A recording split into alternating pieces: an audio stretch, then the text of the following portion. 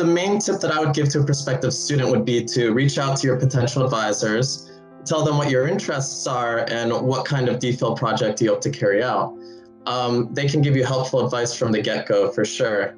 Um, and they can also give you real ex realistic expectations about what the program is like and what the work might be like. The information that I looked at before I applied was definitely the departmental website. Um, there's a ton of helpful and relevant information on the site, and I know I was looking at it religiously. The good thing about it is it also doesn't give too much information. It was kind of just everything that I needed. Um, so definitely read through the website. Um, in my case, I also reached out to a, a, recent graduate from my program, and I was able to have a phone call with her. And she gave me a lot of helpful advice as well. Um, just sort of what it was like being a DPhil student, but also she gave me an insight into the people I might be working with, and, and that was super helpful as well. The interview went by very quickly. Um, so to start off with, I practiced several times with friends and colleagues before the interview. So I was quite confident going into it. And I, I really think that gave me a boost um, when I was actually live with the, the panel of professors. Um, there's a five minute presentation that I gave and then after which there's a 25 minute q&a session where that panel of professors ask questions about the project about the methods.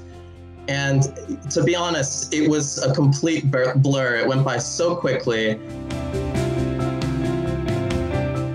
yeah so i chose the DPhil in population health for several reasons um, first of all I, I could already tell through my emails with my advisors that they were very supportive um, and that was really an important consideration for me. Um, but also the bioethics group here that I would be working with, and so my DPhil is in bioethics.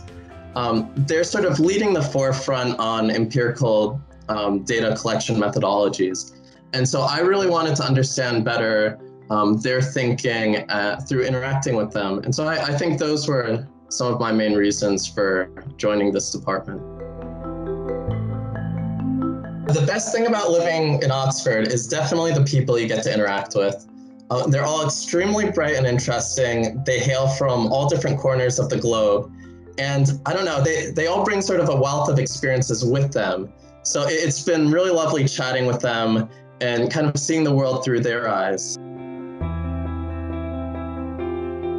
Studying during the lockdown has been interesting for sure. Um, so unlike my peers in the sciences and physics who need to go into the laboratory to conduct their experiments, all I really need for my DPhil is a laptop computer and access to the internet. And with those two, I'm able to carry out the work that I need to do.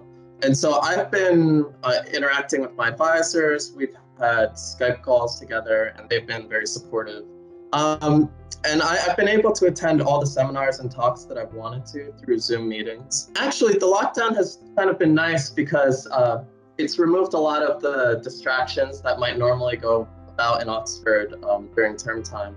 And so I've been able to focus in my work um, in a way that I might not have been able to in normal times. And it, it's actually been really nice to take a deep dive and sort of focus on my research in this way. So it, it's been a good experience.